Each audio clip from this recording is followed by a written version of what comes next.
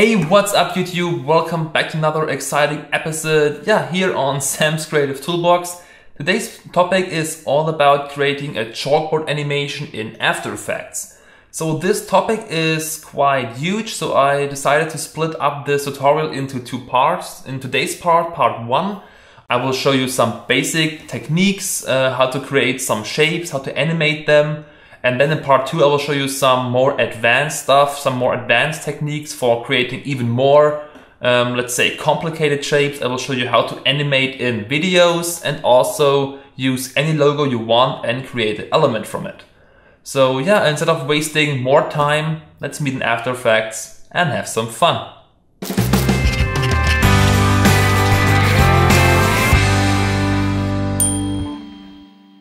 Yeah, like always, we start by creating a new composition. So I will first close this project, then go to composition, new composition. Um, as always, I will choose a name uh, construction comp, for example. Then the size 1920 by 1080, which is HDTV. And frame rate 25 because I live in Germany. If you live in America, for example, you had to choose 29.97, which is NTSC and the duration uh, always depends on your uh, project. So if you don't know or if you aren't sure about the final length, just make it um, just make it super long, like I don't know, maybe um, two minutes or so, because it's always easier to shorten up your comp than to make it longer uh, after you've done everything. So yeah, for the moment, let's import first our texture right here. By the way, I will also put a donut link in the description so that you also can use uh, this custom made texture as well for your own projects. So as I said, just click and drag it into your our, our construction comp. And because this image is, as you can see, it's super big, you can then hit S for scale and just bring it down. Of course, if you want a bigger, um, bigger project, you can also use the size of this texture as well. Um, okay, so let's maybe rename that to background or I usually call it just BG. Okay, and now after we've done everything, it's now time to create our custom shapes. But before we can do that, we of course first have to uh, yeah think about what kind of shapes we want. Do we want some arrows? Do we want some speech bubbles? If you're looking for inspiration, I would recommend to just look on Google and maybe type in um, chalk elements, chalkboard elements, or something like that. You can also go to um, Fotolia, Shutterstock, or some other uh, stock photography sites. They also have very often some very cool, um, some cool elements, and then you can try to recreate them as well in After Effects. So as I said, I will now show you the basics. There, are basically two ways about how to create those custom shapes. And to be honest, both techniques are, they're just kind of the same to be honest, because both use the path uh, tool right here. So let's zoom in a bit. And let's say that we want to create a speech bubble, for example. Um, so just, um, if you have a custom shape you want, you can just now click and easily draw your own speech bubble.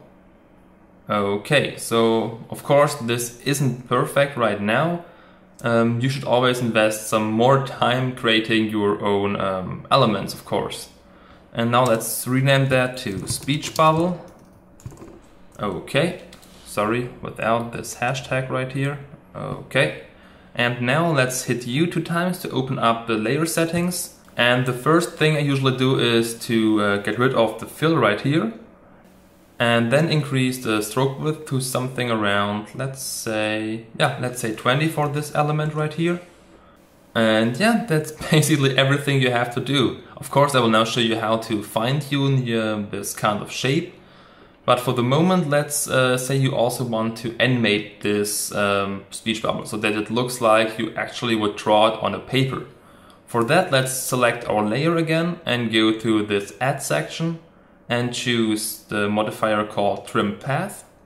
You can also use uh, or trim multiple shapes, but I usually do it uh, one trim path for uh, one shape just to stay organized. Okay. And then you can see that you have a start value, which is set to zero by default, and the end value, which is set to 100. And if you now drag that 100 back to zero, you can see that our um, shape right here starts to disappear. So you can use that now to animate that in. So let's uh, go to the beginning of our animation, click the stopwatch right here, then go forward for let's say uh, about um, yeah about two seconds. Of course, it depends on how fast you want your drawing to be, but if you want it realistic, I would say that two seconds is a good value for the moment. And then just increase the end value back to 100. Okay, so now let's zoom in a bit closer right here. Okay, um, if you now say that, well, this uh, animation starts at the wrong point because I want that to start at this corner right here, you can then use the offset value to just move it around until you find your perfect spot. So maybe in this case, I think that this looks great. Okay, the next problem you may see is that we have very straight edges, which don't look like a drawing, they just looks very yeah, ugly in my opinion. So to fix that, just uh, click two times on your stroke to open up even more settings. And then you will find um, two sections. The first one is called line cap, the second one is called line join. So just set that from butt cap to round cap. And as you can see now the start and the end point is getting round. And now if you change the line join from miter join to round join as well, you can see that we now have some, some more round shapes than before. Okay, so now let's zoom out a bit again. Okay, so now we have our first animation done. If you want to give it even more uh, drawn look, like on the chalkboard, you can now use an effect which I use very often in my animation. It's called roughen edges. So just go into your effects and presets panel and type in roughen edges and apply this effect to your uh, shape layer. And now let's zoom in again. So if you now take a look at the left at the effect control panel, you can see that there are a lot of values, but you don't need actually change a lot. You just need to change the complexity up to, to 10. So as you can see, the noise right here gets even more detailed. So 10 is also the maximum value. So you can also, for example, choose one in comparison. So you can see that there isn't any noise, but I usually like uh, around 10 or 8 and then you can play around with the border. So the higher the value, the more your line will disappear. So as you can see, this looks maybe a bit too extreme, like some noise clouds or something like that. So let's bring it back to, let's say something like, like 14 in this case. Okay. And yeah, as you can see, now we have some kind of uh, drawing effect for our element. Okay, Another cool way, for example, if you want to create uh, a frame for a video like I did in the preview of this tutorial, is to create uh, just uh, the pen tool or your rectangle tool. Just, for example, a rectangular shape, just something like that. By the way, I would also recommend to make your um, drawings not perfectly um, parallel or so or symmetric, because if you think about drawing, you don't, uh, if you draw it with your hand, you don't have perfectly symmetrical lines. So if there are some um, off balances or so, I think it looks even more um, drawn, a bit more comic style, which is what I personally like. So let's go or zoom in again and again hit U two times. Let's call that, for example, video frame. And as before, just delete the fill and increase the stroke to something around um, 14 or 15. Then again change the line cap and the join cap to round. And this time you also click on this plus icon for the dashes. I don't know if you have seen my HUD tutorial, but if you have seen it, you will be familiar with this effect. So what this dashes effect does, it, as you can see, it just splits up this line into various different parts. So if you now increase the value, you can see that you get bigger lines or smaller lines. And if you click uh, on this plus icon again, you can have uh, a gap between these uh, lines as well. So you can make the gap very big or very small. For the moment, I think that something like that looks, looks good. Let's make the dashes a bit smaller and decrease the size. So yeah, I think that looks good. And of course you also have the offset for these uh, dashes as well. And once again apply the roughen edges effect. But to save some time I will just copy it from my speech bubble uh, layer and paste it on my video frame. Of course now it's a bit too much so like I said before just decrease the border to bring back some of these lines right here. Okay. And of course, if you want to animate it, you can also use the trim path modifier again. So let's zoom out again. And as you can see, we now have two cool, um, yeah, cool elements for our chalkboard. But as you remember, I said that there are two techniques um, which are basically the same. So now I will show you how to create even more custom shapes and also this uh, fill because with those um, element layers right here, you can't create uh, these filled lines because the effect we use isn't working with these things. So what we need is now a solid. So go to layer, new and solid. The color doesn't matter, but let's just choose white. Okay. And now again, select your pen tool. And now it's time to draw a mask on top of your white solid. So before that, please make sure that you have actually selected this layer Okay, and now let's draw, I don't know, maybe some kind of an arrow shape. Of course, it isn't perfect. You can also go back and fine tune something. Um, oh god, that does look so ugly right now. But I think you get the point. Okay, by the way, if you want to um, draw more accurate, you can also click on this little icon right here and activate the grid, for example. So then you have these yellow or sorry, so those greenish lines right here, which actually help a lot drawing some nice perfectly lines. Okay. So this effect basically is the same because like before we also have a path, but this time if we hit U two times we don't have any values or um, options like before we only have the mask. So let's set the mask to none because we don't want to use the mask as a mask, we just want to use the path of the mask. So if you also want to create the stroke, you only have to type in stroke in your effects and presets window and apply this generate stroke effect to your solid. Then go to paint style and change it from on original image to reveal original image. And now you can see that we already have a thin outline. And like before, you can now increase the brush size, for example or decrease it depending uh, what you want. You can also play around with the brush hardness, so make it super hard or make it very soft depending on your personal taste. You can also play around with uh, the opacity, with the spacing, but this time you only get these little dots right here. So let's bring it back to zero. Okay. And as you can see, we also have the start and the end value we already know from our uh, element layers. So they actually work kind of the same. So you also have the end value. Okay, to animate in or out your uh, element right here. But the cool thing about these or this technique with the mask is that now you can also create this fill as I said before. So let's bring the brush size a bit down.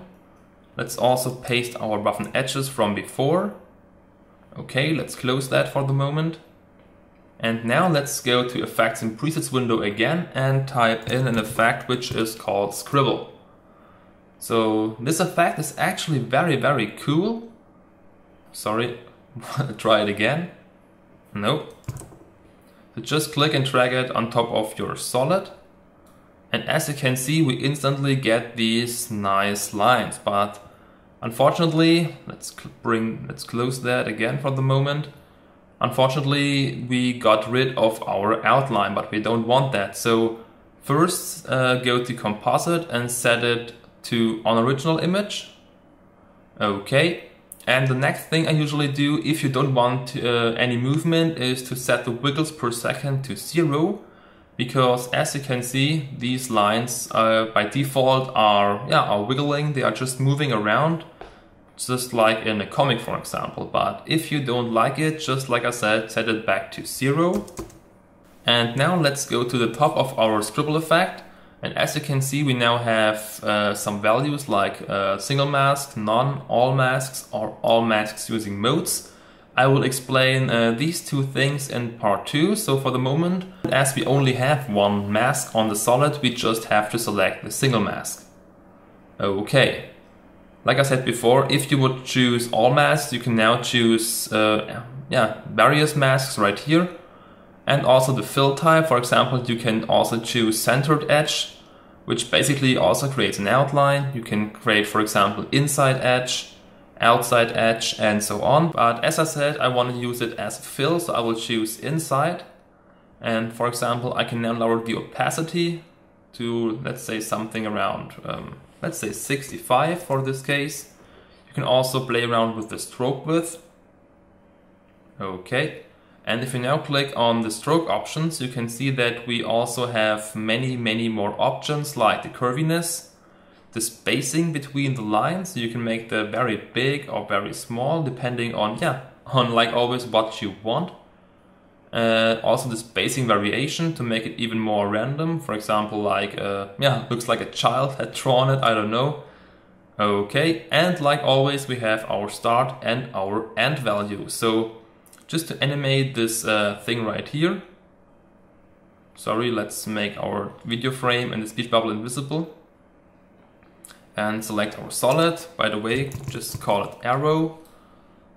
Then let's say we want first our um, stroke to animate in. So let's go to the beginning, click on the end stopwatch, bring it back to zero. Then again, go forward for about two seconds and bring it back to 100. Okay. And now let's say after we've, uh, we've drawn our outline, we usually would fill our arrow. So let's activate our scribble again. Go to 2 seconds. Click on this end stopwatch. Bring it back to 0. And now again move forward for about, let's say 1 second in this case. And now let's bring it back to 100. And now let's hit zero on your keyboard to make a short RAM preview. So this may take a couple of seconds because the scribble effect really eats up your uh, computer uh, power. But yeah, as you can see, we now have this cool looking animation. Okay, but if you now zoom in again, we have still one problem and that is that there is no roughen edges effect for our scribble lines. If you now think that you can just click and drag this um, at the end of your um, effect stack right here, you can see that this effect is way too strong for our super small scribble lines. So what I then usually do is just apply this effect, roughen edges again. Sorry, roughen edges. Just click and drag it again below your scribble. Then um, again set the complexity up to 10 but bring the border all the way down for example to 1 and if this is also too strong let's try for example 0.5 and also bring down the scale for example to 20 or to 10 depending on how big you want that but I think that um, yeah maybe something like like 50 looked good maybe the border even smaller to 0.25. Okay, so here's the before and after. Okay, so like I said, that's our animation. Let's also bring back our two element layers right here and make it fit. Okay, so here's uh, our result of today's tutorial.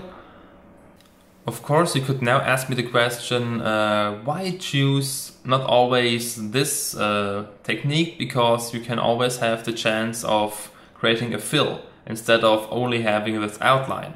And that's really true.